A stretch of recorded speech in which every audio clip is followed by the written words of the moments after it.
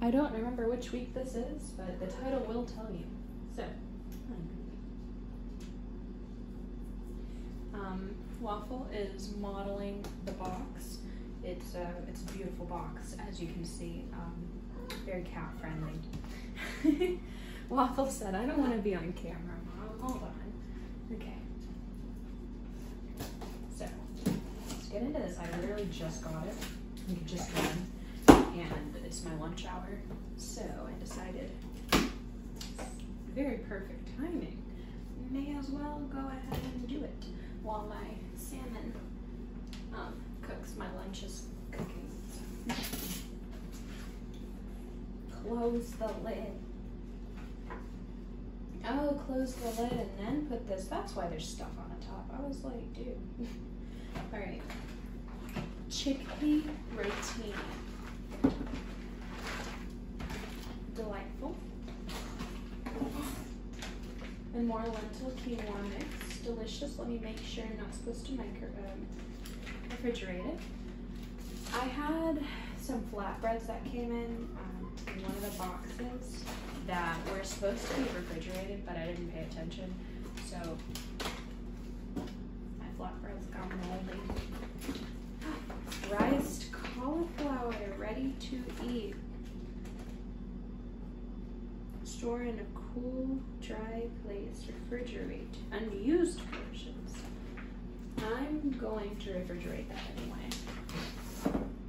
Excuse me. Ooh, and more fruit bite, strawberry fruit bites. Okay, sorry.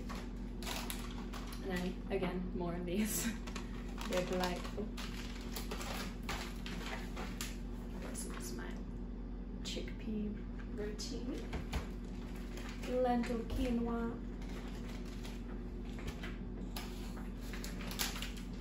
I'm tempted to take a bite of my asparagus.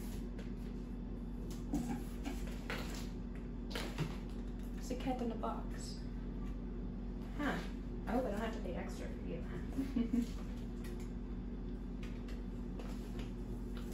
she bullies me.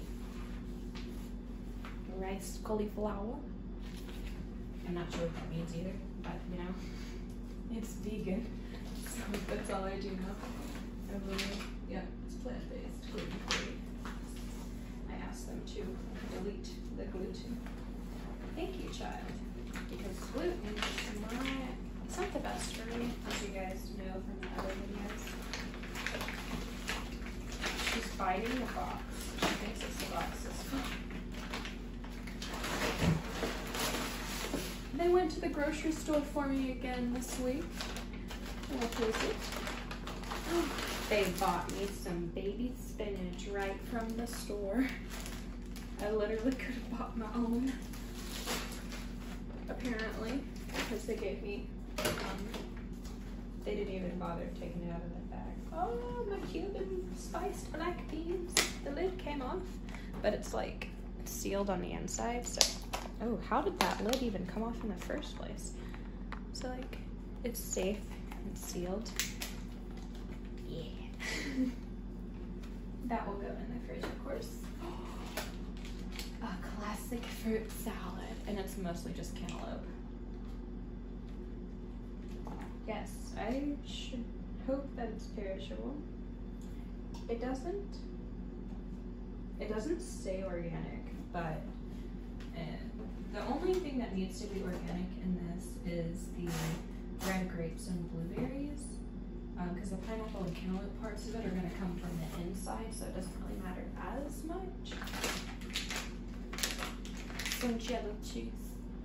Oh my goodness. My grapes, they're everywhere. Ooh, some tempeh smoky bacon. So this is organic, non-GMO. It's not really vegan. It's plant-based, made from something called tempeh. It is a guilt-free food, and it looks interesting. Um, it looks like it's um, ground up nuts or seeds. So that's what I'm gonna guess tempeh is. I've got me some yogurt, some strawberry yogurt. Delicious. Can't wait to have that. that will be a side for breakfast because you need to eat more than something small in the morning. Dinner should be your smallest meal, which some people are like when I tell them that, but yeah. Um, it's a queen at breakfast, a king at lunch, and a pauper at dinner because you don't want to be digesting a lot because that'll mess up your. Oh, you're not. There you go. Slightly at an angle for a second there, sorry. Because if you eat a lot before you go to bed, your digestive system will be so busy trying to digest that your body is not going to heal properly and your food's not going to get digested right and you're not going to get a very high sleep quality. So it's nothing but losses at this point. Uh, Swiss cheese. Me trying random things. Kale and quinoa bites. And they look amazing. Look delicious.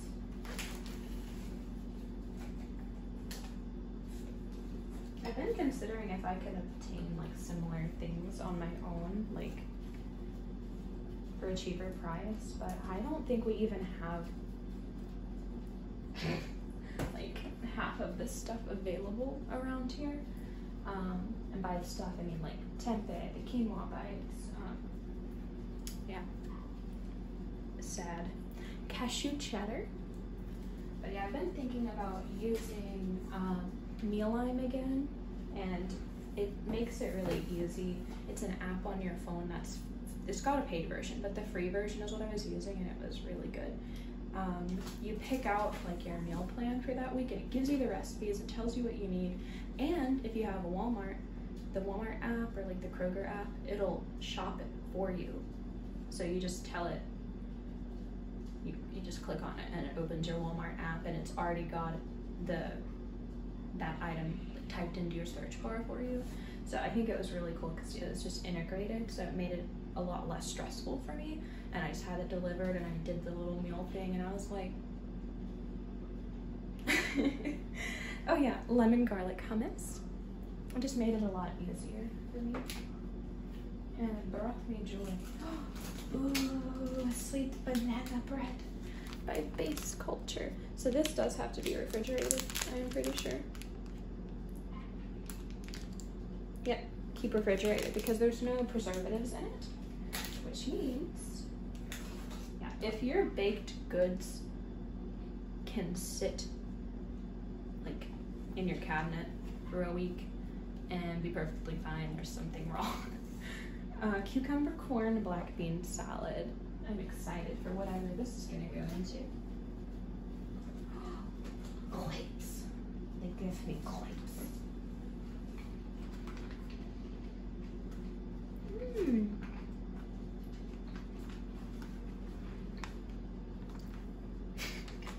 Just modeling my grapes. So this container is made of 100% compostable material. Even the band is okay. The band's recyclable.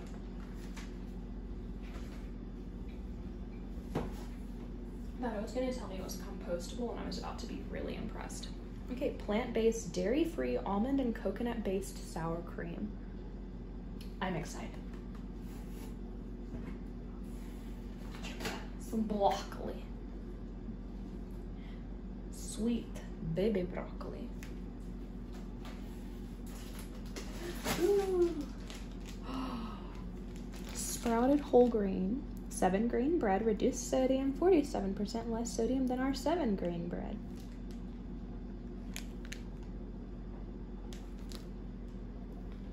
Did I not just read seven grain bread? I'm on to you.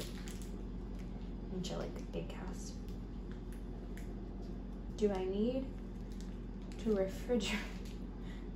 Because last time I got a bread thingy and didn't refrigerate it. I'm just gonna refrigerate it because I refrigerate my bread so that it doesn't mold because I'm not a big fan. Scrimp. I got some scrimp um, from Egg Harbor Seafood. I'm excited. I like scrimp. How cute! A Hail Merry key lime pie from almond flour, cashews, and coconut oil. Keep refrigerated. Okay. Hold on, let me look through my window here. It's not a good view.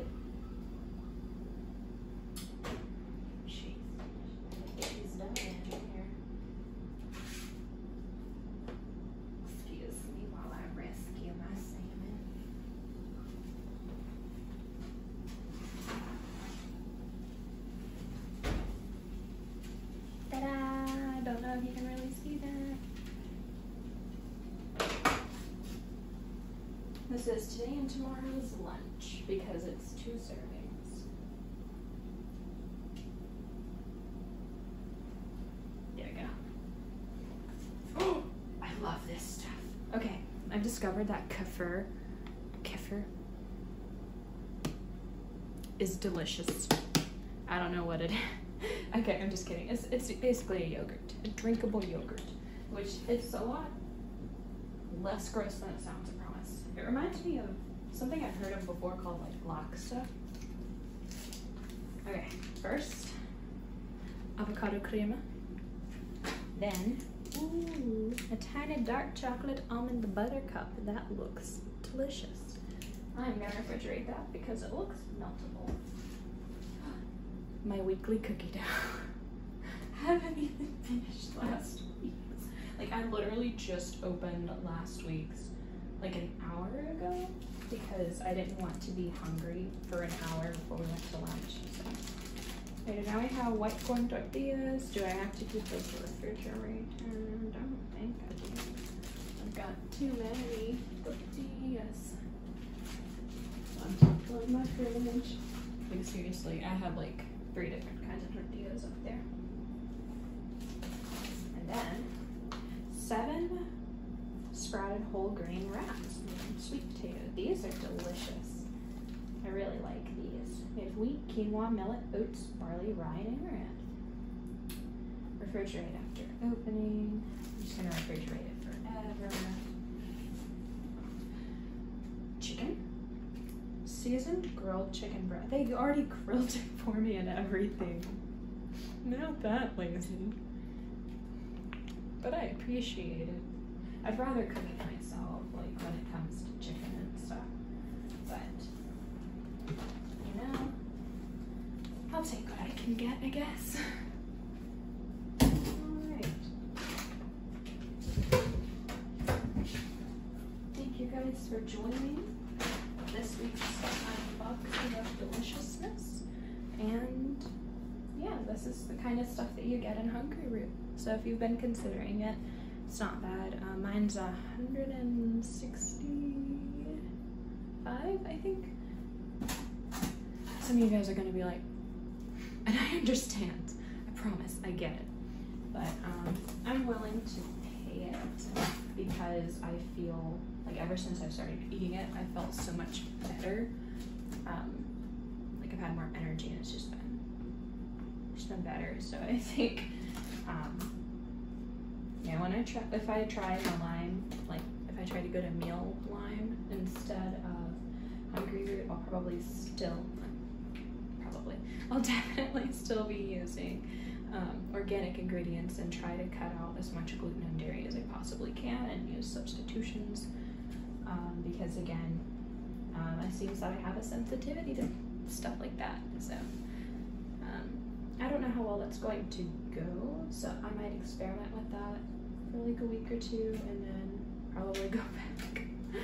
but see you guys next week or whenever or um, my next stream. Goodbye.